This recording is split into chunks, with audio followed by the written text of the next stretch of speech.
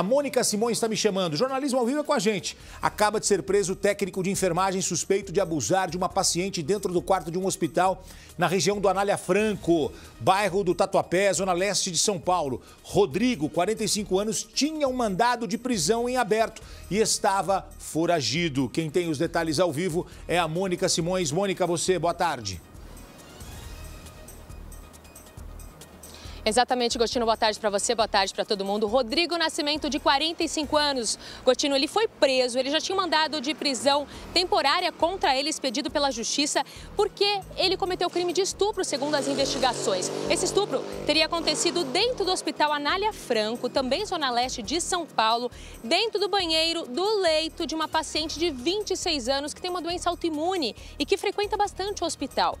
Então, inclusive, a gente tem imagens do Rodrigo Gotino no momento em que ele sai do quarto dessa paciente e entra no banheiro. O que chamou bastante atenção da investigação é que esse banheiro que ele entra é o banheiro que não é de funcionários e é um banheiro feminino. Então, ele entra nesse banheiro e depois ele sai como se nada tivesse acontecido. Agora, foram encontrados ali do lado da porta do quarto dessa paciente vestígios do crime dentro de um saquinho plástico, em papel higiênico, também no uniforme que ele teria usado. Então a vítima relatou tudo o que aconteceu. Ela disse que não estava bem, mas é que ele estava consciente o tempo inteiro. Agora, em depoimento à polícia, a investigação, inclusive, a gente está bem em frente aqui, o 30DP Gotino, e eu conversei com os investigadores do caso agora, e eles deram algumas informações exclusivas para o balanço geral.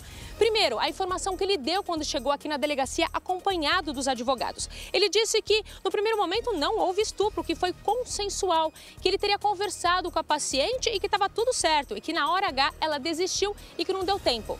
Esse foi, essa foi a versão dele, Gotino. Agora, a informação que a gente conseguiu exclusiva, só o Balanço Geral tem, é que depois da divulgação desse caso, outras possíveis vítimas do Rodrigo entraram em contato aqui com a delegacia dizendo que foram vítimas do mesmo ato em dois outros hospitais. Inclusive, ele teria sido demitido por justa causa desses dois hospitais. É claro que a polícia acabou de receber essa informação faz, pouco mais de 30 minutos, então eles estão apurando tudo e daqui a pouco deve sair uma informação aí, com certeza oficial sobre esse caso. Agora, em relação ao hospital, o Anélia Franco informou que o Rodrigo não faz mais parte do quadro dos funcionários desde que esse, essa informação veio à tona e que está prestando toda a solidariedade e apoio à família e à vítima. É com você, Gotino. Olha, informação importante aqui passada pela Mônica.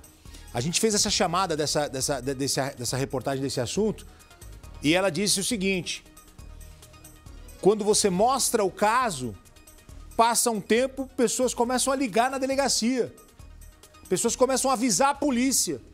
Ou seja, novas vítimas estão surgindo deste homem.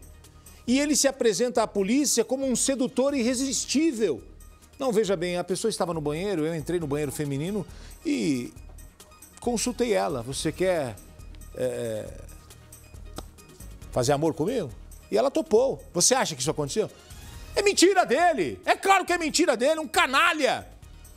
Se essa pessoa tá lá no hospital, entrou no, no, no banheiro, ele entra no banheiro e fecha a porta e acabou.